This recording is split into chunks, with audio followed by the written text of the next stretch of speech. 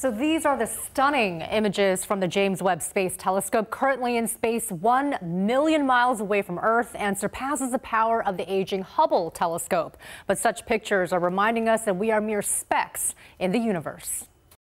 Where did we come from and how?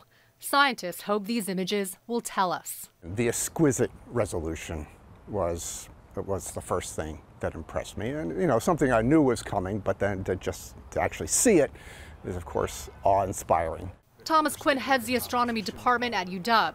He and faculty members watched intently Tuesday morning as NASA revealed a second round of images from a space telescope currently in orbit 1 million miles away from Earth and sending pictures that have captivated the world. The fascination you see from the general public about beauty, about discovery.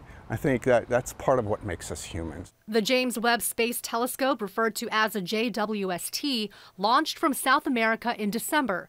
The pictures from the Mirror telescope hardly seem real, and the first deep field image that arrived on Monday stunned Quinn. To you, they're just faint smudges, but you recognize that these tiny smudges are actually galaxies out at essentially at the dawn of time. The JWST is larger and more powerful than the Hubble telescope, providing the clearest images we've seen thus far.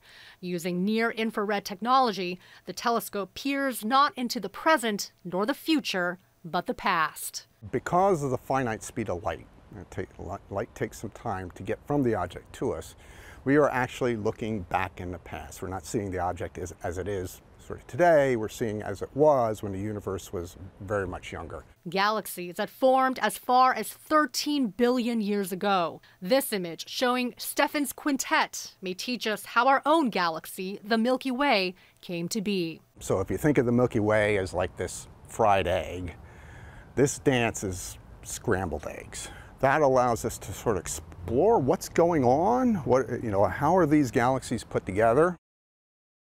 And going back to those scrambled eggs that Quinn referred to, scientists are observing a black hole on one of these blobs. UW astronomers will be studying that. Quinn's work includes generating computer simulations of those smudges that are galaxies. Back to you.